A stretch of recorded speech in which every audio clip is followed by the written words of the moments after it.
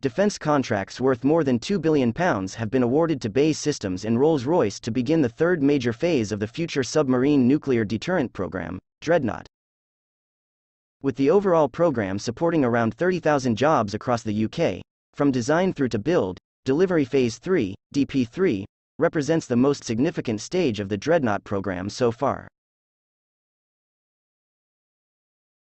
Citing from Royal Navy website, in 2021 alone, it supported around 13,500 jobs in the northwest of England and a further 16,300 over the rest of the UK, making a significant contribution to the government's levelling up agenda.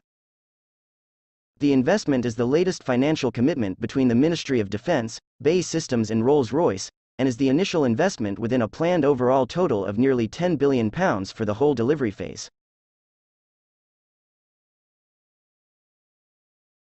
DP3 will see the first of four submarines, HMS Dreadnought, exit the Barrow-in-Furness shipyard to begin sea trials, laying the foundation to sustain the continuous at-sea deterrence, CASD, for as long as the international security situation makes it necessary. Defense Procurement Minister, Jeremy Quin, said, The Dreadnought class will be crucial to maintaining and safeguarding our national security, with the nuclear deterrent protecting every UK citizen from the most extreme threats, every minute of every day. Designed in the UK, built in the UK and supporting tens of thousands of jobs in the UK, the Dreadnought program is a leading example of our commitment to defence manufacturing and will continue to boost British industry for decades to come.